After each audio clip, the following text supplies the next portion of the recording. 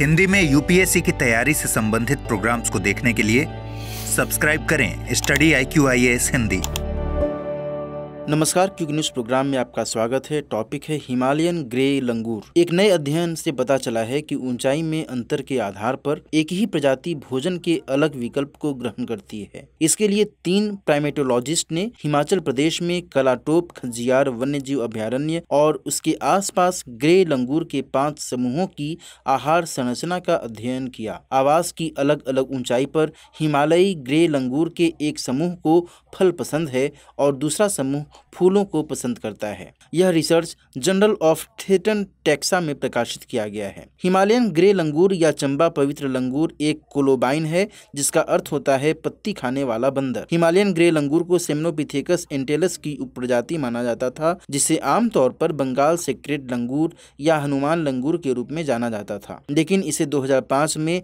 एक प्रजाति के रूप में अलग कर दिया गया। आपको बता दें कि विश्व स्तर पर ग्रे लंगूर को एक लुप्त प्राय प्रजाति माना जाता है, क्योंकि इसकी आबादी 15 से 20 समूहों में 1500 के करीब है। आयुसीएन की रेड लिस्ट में ग्रे लंगूर को एक लुप्त प्राय प्रजाति के रूप में शामिल किया गया था, लेकिन 2004 में पुनर्मूल्यांकन के बाद इसे गंभीर रूप से लुप्त प्राय के रूप में फिर से नामित किया गया। कलाटोप खजियार वन्यजीव अभ्यारण्य हिमाचल प्रदेश में रावी नदी के जल ग्रहण क्षेत्र में स्थित है। लगभग उन्नीस में स्थापित यह वन्यजीव अभ्यारण्य कभी चंबा के शासकों के लिए एक गेमिंग रिज़र्व हुआ करता था। यहाँ की वनस्पति में ग्रीन ओक ब्लू पाइन और रोडोडेंड्रॉन पेड़ भी शामिल हैं। यह स्थान हिरन भालू, हिमालयन ब्लैक माउंटेन तेंदुआ बार्किंग डियर सियार, लंगूर और कई खूबसूरत पक्षियों का घर है।